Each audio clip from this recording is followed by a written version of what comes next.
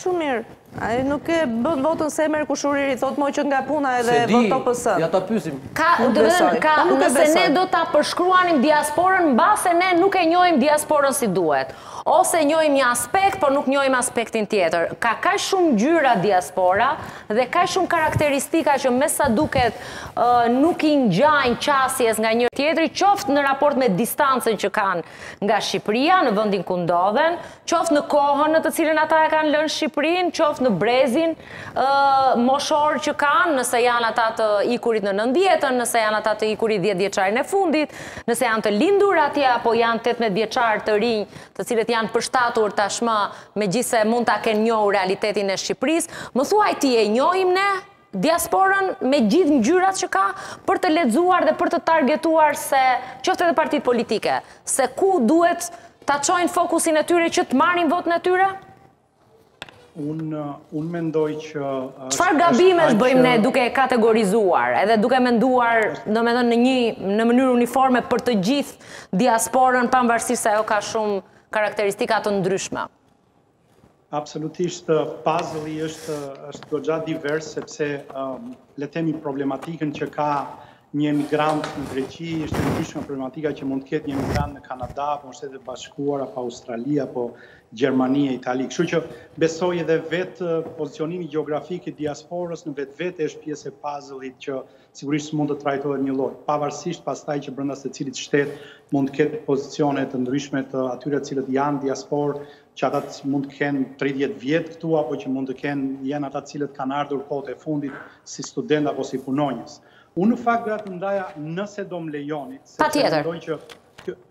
Nëse do më lejoni doja të ndaja sepse jemi në një moment shumë delikat të procesit, te pjesa e akteve nënligjore doja të ndaja disa shqetësime që si diasporë kemi. okay. I kthehemi, i kthehemi atyre shqetësimeve që mund të po, mund të pengojnë le të themi vlerën që vota e diasporës presim të ketë. Po, atëherë së pari ne do donim një proces sa më të thjeshtë, një proces i kuptueshëm për këdo dhe për çdo nivel. Një problematikë që pati Kosova ishte procesi u konsiderua i komplikuar, më i komplikuar se sa duhet, si rrjedhim s'u votua në masën që mendohej. Një element tjetër që e preki dhe zoti Celibashi është kostoja e lartë e dërgimit të votës.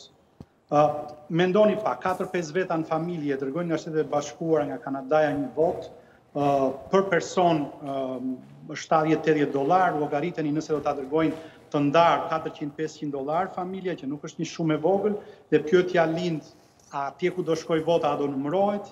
Kështu që mendojmë që Kjo çështje ende ka kohë nga pikëpamja e ligjit të trajtohet në kuptimin që të përballohej kosto nga institucion nga le të themi me, me nga institucionet shtetërore ose një zgjidhje më praktike mund të ishte meqenëse KQZ-ja është në momentin e, e, e kontraktimit të shërbimit postar mund ta bëjë një një shërbim postar të kontraktuar dhe për dërgimin e materialit zgjedhor, por edhe për kthimin e votës, që mundet për shembull kostoja e dërgimit të ishte dhjetë dollarë nëse do ishte me gjithë kthimin të shkojë trembëdhjetë pesëmbëdhjetë, pra kjo do të lehtësonte procesin.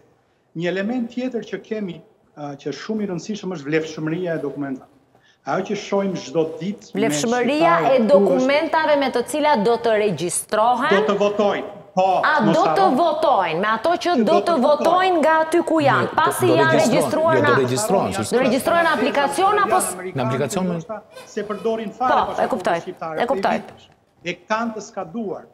Duhet ndërhyrë që të paktën për votime të dilet me një akt të Këshillit të Ministrave, vendim i Këshillit të Ministrave që mund të thoshte që për efekt të votimeve, ata të cilët kanë një dokument të të skaduar mund të përdoret, sepse dhe sepse dhe sikur të dojë le të themi një kanadez, një një një që është në Kanada apo diku Shtetet e Bashkuara që janë vende të mëdha për të shkuar për të ndërruar pasaportën nga Kalifornia të vijë në New York sigurisht që është 5 orë me avion. Me, megjithatë Rado qëndrojmë pak këtu, ne pyetëm zotin Celibashi, por në gjithë atë orë që diskutuam qoftë edhe detaje të tilla teknike, nuk mbaj mend të kishte një përcaktim për dokumentin e identifikimit. Do të jetë një identifikim biometrik në momentin që do të regjistrohen në platformë, po.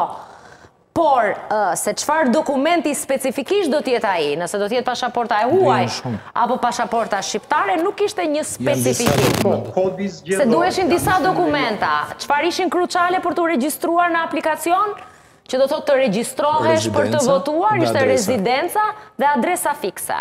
Dokumenta që të vërtetonin që është aty ku është dhe ka një adresë të saktë dhe është, le themi, personi në fjalë.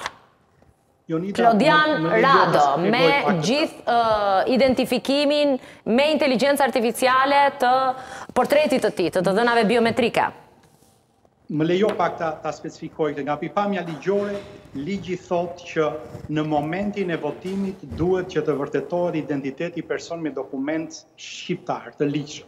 Kjo do të thotë që shqetësimi jonë është pikërisht ky, që të lejohet në momentin e dërgimit të regjistrimit në platformë, sepse do shoqërohet me dokument shoqërues, dhe të dërgimit të votës të shoqërohet me dokument i cili edhe nëse do të ishte i skaduar përsëri të lejohet për efekt të prakticitetit.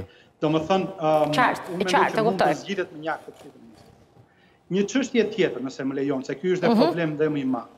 Është çështja e ankimit, sepse mund të ndodhi që shumë persona të cilët do të donin të shihnin veten tek lista e zgjedhësve nuk e shohin për një arsye ose tjetër, ose nuk i pranohet dokumenti që provon që janë shtet, janë jashtë shtetit. Kodi thotë që shqiptarët kanë të drejtë të ankohen në gjykatë, dhe i jep një afat shtatë ditë përpara zgjedhjeve. Njëzet e katër orë, tha zoti Celibashi, do të jetë afati për pranimin e ankesave dhe kthimin e përgjigjes, të paktën kështu ai u shpreh. Ja më lejo pak. Ku është problemi? Njëzet e katër orë, thotë gjykata, duhet të marrë në shqyrtim kërkesën. Pyetja që kam unë si një, domethënë si kam qenë edhe jurist në Shqipëri, është, më dëgjoni? Me shumë vëmendje. është si do të ankimohen shqiptarët nga Australia, nga Kanadaja, nga Amerika, si do ta dërgojnë ankimin, duhet të lejohet sistemi online i të drejtës së ankimit në gjykatë, gjë që nuk është sot, në kodet kodi i procedurës civile, penale, kodi zgjedhor shqiptar. Duhet me akt nënligjor të përcaktohet një orë e përpara kjo, që KLGJ-ja së bashku me KQZ-në të nxjerrin aktin nënligjor të lejojë dërgimin e ankimit në formë elektronike në gjykatë. Sot ju nuk dërgoni dot një padi në gjykatë elektronikisht, me email për shembull. Do duhet të specifikohet. Duhet që të përcaktohet, e kuptoj. Një çështje tjetër që është shqetësim. Gjykata brenda 24 orëve thamë që duhet t'i përgjigjet, dihet ngarkesa e gjykatës, por kjo duhet bërë me një me bashkëpunim KLGJ-KQZ, paprekshmëria e votës është shqetësimi jonë më i madh. Si do garantohet paprekshmëria e votës? Domethënë, si doni ju të garantohet paprekshmëria e votës? Domethënë, si Çfarë garancish do donit ju për paprekshmërinë e votës tuaj? Është me postë, do të vijë në KQZ, do të ketë një numër identifikimi, një barkod unik, të paktën siç tha zoti Celibashi, po. ku i keni dyshimet? Ja më dëgjon. Atëherë, ne siç thashë jemi afër KQZ-së në ndërtimin e akteve nënligjore. Jemi me ta